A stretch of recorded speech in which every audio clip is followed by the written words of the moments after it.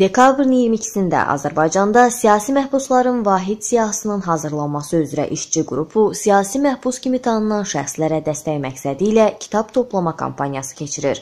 Kampaniya çərçivəsində çoxsaylı insanlar, müxalif siyasi liderlər, ictimai xadimlər, ictimai siyasi fəallar, siyasi məhbus sayılan şəxslər üçün kitablar gətirib. Kanal 10-a açıqlama verən hüquqşünas İntiqam Əliyev kampaniyanın əhəmiyyətinin vacibliyindən danışıb. Kurslar üçün ə, kitab toplayırıq. Amma təbii ki, təkcə kitabla ə, məhdudlaşmır bugünkü kampaniya. Eyni zamanda diqqətli siyasi məhbusları cəlb edirik. Onların problemlərinə cəlb edirik. Və bugünkü tədbir də eyni zamanda ə, ə, toplumu onları yaddan çıxartmamağa ə, çağırışdır. Onlar ə, məhdud şəraitdə yaşayırlar, bu şəraitdə yaşayırlar. Ünsiyyətdən məhrumdular, bayırla ünsiyyətdən çox zaman məhrumdular. Kitablara çıxışları yoxdur, qəzetlərə çıxışı. Bu ə, onlara bir daha xatırladır. Bu cür kampaniyalar biz yaddan çıxartmamışıq. Siz hər zaman qəlbimizdəsiniz və ə, siz burada yanınızda olmasanız da, sizə bizimlə ünsiyyətə imkan verilməsə də, hər zaman yanınızdasınız, ürəyinizdəsiniz. Bu gün də məhbuslar buradadırlar, siyasi məhbuslar. Baxmayaraq ki, onlar həbsdədirlər, amma bizimlədirlər və e, və bu kampaniyada onları e, sevgimizin, diqqətimizin e, bir təzahürüdür. Hal-hazırda nə gedir? İnsanlar burada əylənirlər.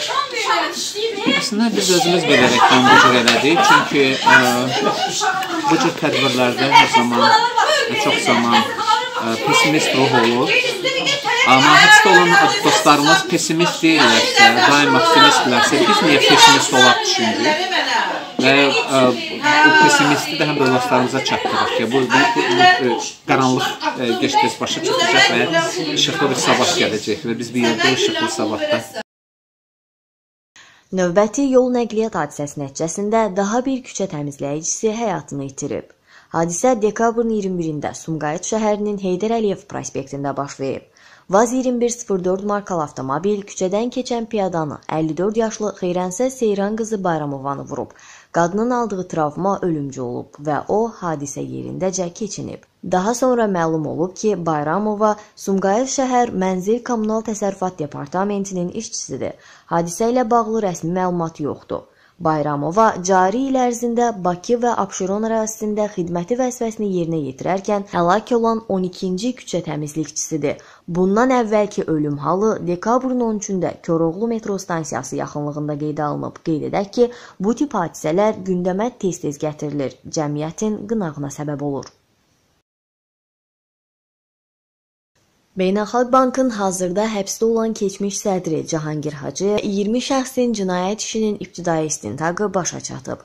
Azərbaycan Daxili İşlər Nazirliyi və Baş Prokurorluğun mətbuat xidmətlərinin məlumatında deyilir ki, istintaqla Cahangir Hacıyevin tanışı Dünyamin Xəlilov digər 20 nəfər və qeyriləri ilə birlikdə qanunsuz maliyyə əməliyyatları aparılan və real dəyəri olmayan veksellərin alınması, eləcə də təminatı olmayan kreditlərin verilməsi yolu ilə ümumilikdə 4,7 milyard məbləğində pul vəsaitinin mənimsəmə və digər cinayətlər yolu ilə 2,5 milyard manat hissəsini ələ keçirməklə cinayət yolu ilə əldə edilmiş həmin vəsaitin 2 milyard manatını leqallaşdırılmasında, digər 2,2 milyard manat məbləğində pul vəsaitinin isə müxtəlif əməliyyatlara yönəltməklə Azərbaycan Beynəlxalq Bankı açıq səhmdar cəmiyyətinə ziyan vurmasına əsaslı şübhələr müəyyən edilib. Azərbaycan prezidentinin ailəsi haqqında The Guardian qəzetində dərc edilmiş məlumat yalandır və böhtan xarakteri daşıyır. Bunu Azərbaycan prezidentinin mətbuat katibi Azər Qasımov deyib. Azər Qasımovun sözlərinə görə bu cür məqalələr əvvəllərdə yayımlanıb, lakin təsdiqini tapmayıb. Bunlar təxribatdan və qaralama kampaniyasından başqa bir şey deyil. Bu, Azərbaycanın qonşuları ilə əlaqələrinin möhkəmləndiyi bir vaxtda təzyiq göstərmək cəhdindən başqa bir şey deyil, deyə o qeyd edib. Dekabrın 21-də Vəkillər Kollegiyasının İntizam Komissiyasının iclasında vəkil Elçin Sadıqovun məsələsinə baxılıb. Bu barədə vəkil Elçin Sadıqov Facebook səhifəsində məlumat paylaşıb. Vəkil yazıb ki, Respublika prokurorluğu əvvəl Vəkillər Kollegiyasının sorğusuna cavab olaraq Yunis Səfərovun 5 sentyabr 2018-ci il tarixdən sonrakı tarix üzrə ərizəsini təqdim etmişdi ki, ona təzyiq göstərib. Güya vəkil təzyiq edib ki, o istintaq zamanı və Bakı İstintaq Təcridxanasında işgəncəyə məruz qalması barədə ifadə versin. Əslində isə Respublika prokurorluğu sentyabrın 4-də Elçin Sadıqovu Yunis Səfərovun vəkilliyindən kənarlaşdırıb və bir gün sonra Vəkillər Kollegiyasına şikayət edib. İntizam komissiyası vəkilə bildirib ki, rəyi sonra tərtib edib onunla tanış edəcəklər.